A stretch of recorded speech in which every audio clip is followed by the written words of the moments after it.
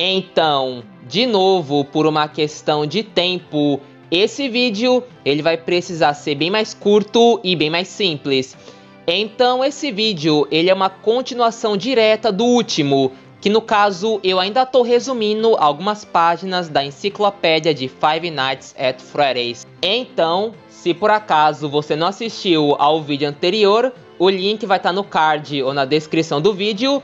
Se você gostar do vídeo, não esquece de deixar o like, inscrever e compartilhar, porque isso ajuda imensamente esse canal. E eu acredito que o próximo vídeo a gente já volta à programação normal. Beleza, dando prosseguimento, vamos falar agora do Funtime Friday. Funtime Friday pode ser encontrado se apresentando no Funtime Auditorium na Circus Baby Entertainment and Rentals. Ele é um urso com tema de circo, cujo ato envolve seu fantoche de mão, Bombom. Na maioria das vezes, ele é um cara alegre que adora aniversários, mas ele tem uma explosão ocasional. Funtime Freddy tem a habilidade de imitar as vozes dos outros, que ele usa para atrair vítimas em potencial. Ele também é equipado com sensores que podem localizar vítimas e agrupá-las, sem mencionar uma garra de máquina dentro de seu torso, que ele pode usar para agarrar suas vítimas em seu tanque de armazenamento estomacal. O próximo animatronic da enciclopédia é o Rockstar Freddy. Esta versão chamativa de Freddy Fazbear não se move como os outros animatronics. Em vez disso, ele fica no escritório. Ele também não parece ter muita personalidade ele apenas acorda de vez em quando e exige moedas.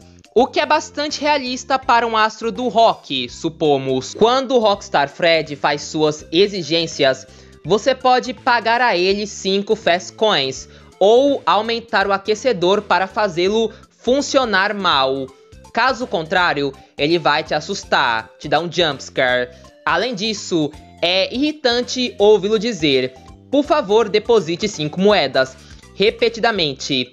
Ele também ocasionalmente lhe dá power-ups na Ultimate Custom Night. Certo, na sequência, vamos falar agora de Lefty. Lefty significa Lure, Encapsulate, Fuse, Transport and Extract, mas é pronunciado Lefty.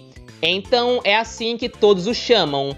Além disso, olhe, ele é canhoto, ele é como uma imagem espelhada do Rockstar Friday, mas com um esquema de cores diferente. Ah, e aquela parte faltando do olho esquerdo dele. Espera, tinha alguma coisa ali dentro? Não, ele não está piscando para você. Lefty se comporta de uma forma meio estranha. Sim, mais estranha que os outros.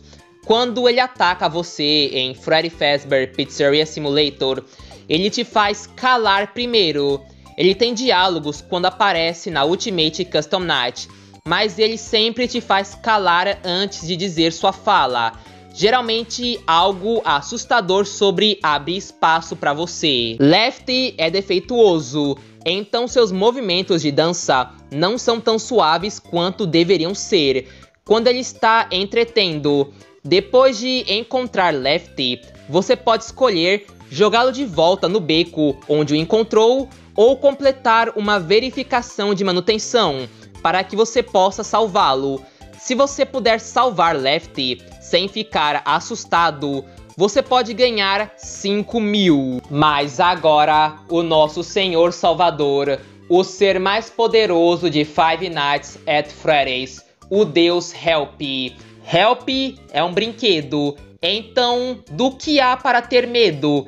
Ele é apenas um pequeno brinquedo que se parece muito com Funtime Freddy, com cores, chapéu e gravata borboleta semelhantes. Mas pequenas versões das coisas são frequentemente mais assustadoras do que a coisa real. E isso vale em dobro para Help. Ele é simplesmente horrível. Help aparece na maioria dos minijogos de Freddy Fazbear Pizzeria Simulator ele não é chamado de Help no jogo, mas o nome foi confirmado nas notas da atualização, porque Help ele testa os itens que você compra. E depois que você tenta salvar os animatronics, ele aparece durante os resultados e reage a eles. O que não é tão útil. Muito bem. O próximo animatronic da enciclopédia é o Glamrock Freddy. Glamrock Freddy é o vocalista principal dos Glamrocks animatronics no novo e brilhante Freddy Fazbear Mega Pizzaplex. Ele tem um design de maquiagem chamativo e seu visual geral é influenciado pelo glam metal. Ele também tem uma escotilha no peito para conter grandes bolos de aniversário e pinhatas, e um isqueiro em um dos dedos. Ele precisa de recarga regular e não foi projetado para sair do Pizzaplex. No início de Security Breach, Friday falha enquanto está no palco e entra no modo safe. Ele revive para encontrar Gregory escondido em sua escotilha de peito. Friday é o único dos Glamrocks animatronics a não cair sobre a influência de Vanny, e enquanto os outros são usados para atacar Gregory, Friday aconselha e ajuda o garoto a escapar do Pizzaplex. Existem algumas situações em que Friday pode perder o controle de si mesmo, se seu poder estiver muito baixo, ou se ele for mantido incorretamente em Parts and Service ele assustará Gregory. Embora Freddy diga a Gregory que ele não pode sair do prédio, é possível obter um final feliz para Fred nesse jogo. Dando prosseguimento, o próximo é o Black and Light Friday. Esta variante de Fred aparece no modo Black and Light em Help Wanted. Cada minijogo tem um modo Black and Light em que você pode desbloquear ao vencer o jogo na dificuldade normal. No modo Black and Light, o jogo fica mais difícil por distrações extras, como música alta e balões flutuando. Também fica mais perturbador pela presença de Black and Light Friday. A versão Dark de Black and Light Friday de Special Delivery é completamente preta, exceto por seus olhos brilhantes, criando um dos piores jumpscares de toda a série é como ser engolido por um vazio infinito. E agora, na sequência, nós temos o Parry Friday, outra versão do Fred no modo Black and Light. Parry Friday aparece na versão Black Light do nível Pizza Parry, no qual você deve vagar pela pizzaria em busca da Pizza Parry antes que o tempo acabe. Você também tem que evitar todos os outros animatronics nas várias salas. Se você ficar sem tempo, bem, adivinhe quem aparece para um jumpscare. Parry Freddy é como Black and Light Freddy, exceto que seus olhos e boca são delineados em vermelho brilhante. É quem convidou ele para a festa mesmo? Bem, e agora, na sequência, nós temos eles, os Freddles, Há três Freddles e todos eles parecem ligeiramente diferentes, pois cada um está sem peças diferentes. Em Five Nights at Freddy's 4, eles se reúnem na cama e podem ser assustados com uma lanterna, mas se todos os três Freddles se reunirem e não forem assustados a tempo, eles invocarão o Nightmare Freddy. Os três Freddles podem se fundir ao corpo de Nightmare Freddy, mas eles não parecem ser controlados por seu hospedeiro aterrorizante, pois não compartilham suas características. Eles são muito mais brincalhões e não são tão agressivos. E agora, na sequência, vamos falar do Dreadbear. Dreadbear fez sua primeira aparição na Curse of Dreadbear, uma DLC de Halloween para Five Nights at Freddy's Help Wanted. Ele é uma variante de Fred estilizada como o monstro de Frankenstein, alto e volumoso, com pontos na pele, parafuso no pescoço e uma caminhada pesada. Dreadbear deve ser montado por você como parte do modo de jogo Spook Mansion, você precisa configurar seu cérebro e certificar-se de vai caber na cabeça dele. Caso contrário, o estúpido Dreadbear vai atacar. O poder continua saindo e toda vez que é ligado, Dreadbear leva um choque. E se ele for eletrocutado cinco vezes, ele vai atacar. Beleza. Agora começamos a coletânea de skins do Fred do FNAF AR. Começando pelo Shamrock Friday. Shamrock Friday foi o primeiro de uma série de skins temáticas de feriado para Special Delivery, lançado para o Dia de São Patrício em 2020 e revivido várias vezes desde então. O trevo é uma planta que é um símbolo da Irlanda e São Patrício é o santo padroeiro da Irlanda. Shamrock Friday difere do Freddy Fazbear normal, principalmente porque ele é verde, obviamente, mas ele também trocou sua cartola preta usual por um chapéu de leprechaun, fazendo referência ao folclore sobre leprechauns, guardando potes de ouro. O microfone de Shamrock Friday é dourado e ele também usa uma corrente de ouro. E agora, na sequência, nós temos o Firework Friday. Firework Friday é uma variante do feriado que marca o dia da independência no dia 4 de julho e foi lançado pela primeira vez em 2020. Os fogos de artifício são tradicionais neste dia, mas temos certeza de que Friday não vai soltar aquele foguete enorme dentro da pizzaria. Certo, né? Incomumente, este Fred está usando mais do que apenas uma cartola e gravata borboleta. Embora que ele também tenha. Ele tem óculos escuros, uma regata e shorts, todos com o mesmo esquema de cores: patriótico vermelho, branco e azul com estrelas e listras. E agora, na sequência, nós temos o VR Toy Friday. Esta skin, variante para Toy Friday, foi disponibilizada por tempo limitado durante o evento Arcade Mayhem and Special Delivery, como parte da série de skins Arcades Animatronics.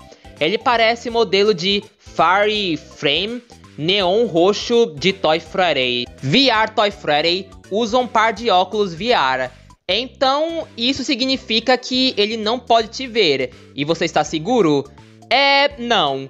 Quando ele entra no modo de ataque, ele fica laranja e o headset desaparece, para revelar olhos brilhantes amarelos e esverdeados. Dando prosseguimento, o próximo é o Woodland Toy Friday. Esta variante do Toy Friday, junto com o resto da série Forest Animatronics, foi lançada para o evento Haunted Forest.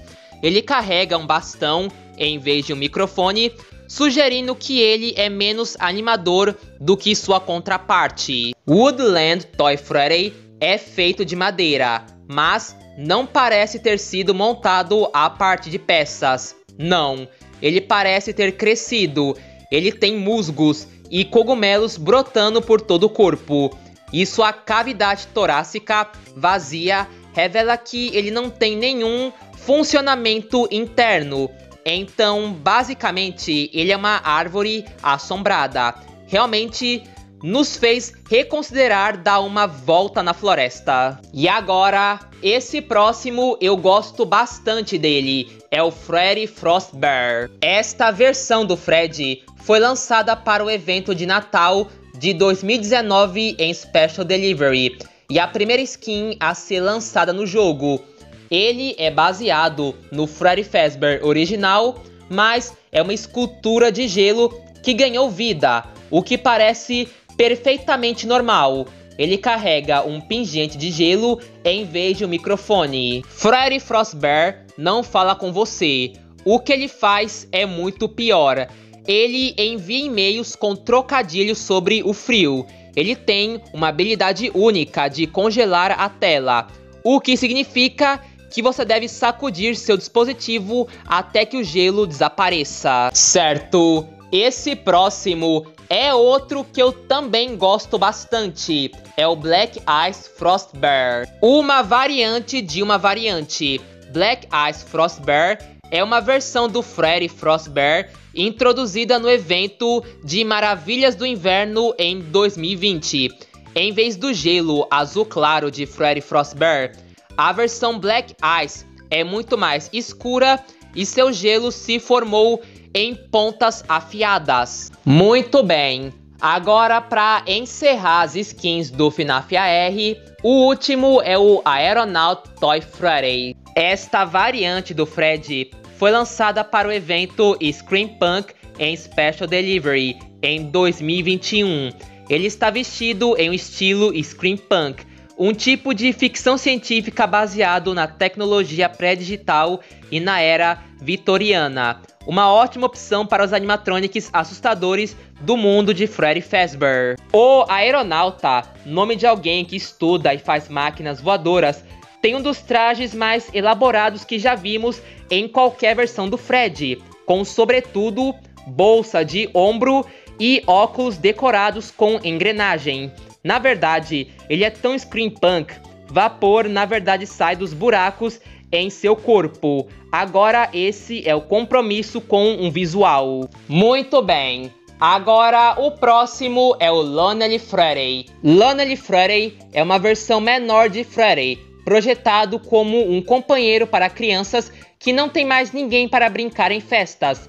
Ele pode falar com as crianças e aprender sobre suas coisas favoritas, para que elas possam interagir com ele como um amigo de verdade. Lonely Friday, em Fazbear Frights 2, vai mais profundo do que o esperado, colocando um garoto chamado Alec em transe enquanto faz perguntas que tornam-se cada vez mais pessoal, antes de finalmente trocar de corpo com Alec, que está preso dentro do corpo de Lonely Friday. Parece que o mesmo destino aconteceu com outras crianças na pizzaria, já que o final mostra uma lixeira cheia de dezenas de Lonely Fridays. Mas agora, para encerrar essa longa coletânea de Fridays, nós temos o Twist and Friday.